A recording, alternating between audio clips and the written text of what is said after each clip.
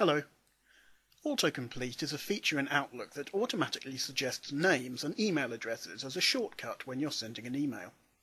For example, when I type the letters FR in the To line, Outlook begins to suggest names and addresses with those initial letters of people who I've exchanged email with before, and I can click them to save having to type the whole address. Outlook learns these entries as you send or receive mail, so that it can be smarter about the autocomplete suggestions that it displays.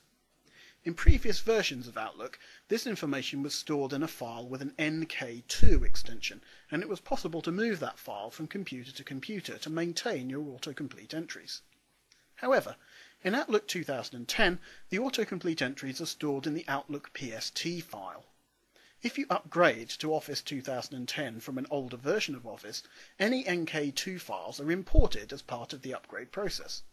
However, this automatic import only happens when Office is upgraded. If you later want to take an NK2 file from another computer or user account, you have to manually import it into Outlook 2010 before it's used. In this video, I'm going to show you how. I'll start by finding the NK2 file on my first computer, which is still running Office 2007. The file is located in a hidden folder in my user profile. I can get there by opening the Start menu and then typing this folder path.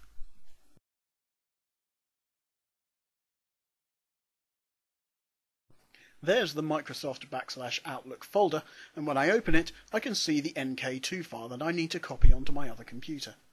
Now let's move over to my other computer, which is the one with Office 2010 installed. I've gone ahead and copied the NK2 file to my Office 2010 computer's desktop. For the import to work, I need to put the file into the correct folder and also to rename the file to match the name of my Outlook mail profile. I can find the name of my current profile by opening the control panel and then opening the mail window. I'll do this by typing mail in the search box on the top right.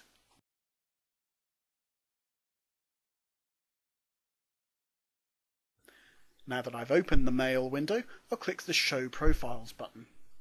As you can see, I only have one profile, and I'll take a note of the name. That's the name that I'll need to use for the NK2 file.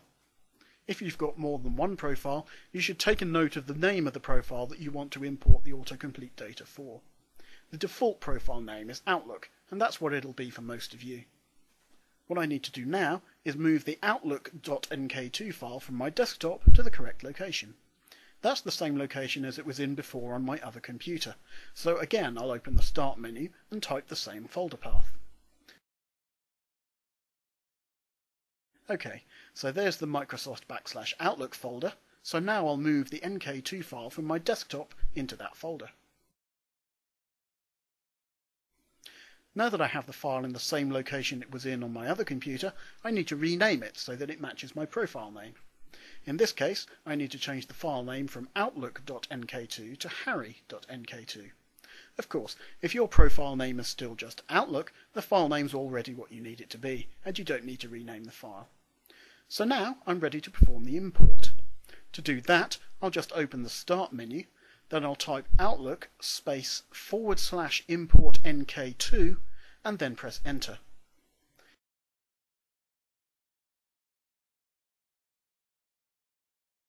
Outlook now opens.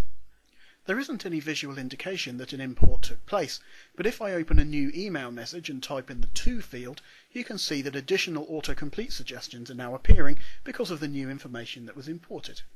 This video has been about importing autocomplete entries into Outlook 2010. I hope you find it useful.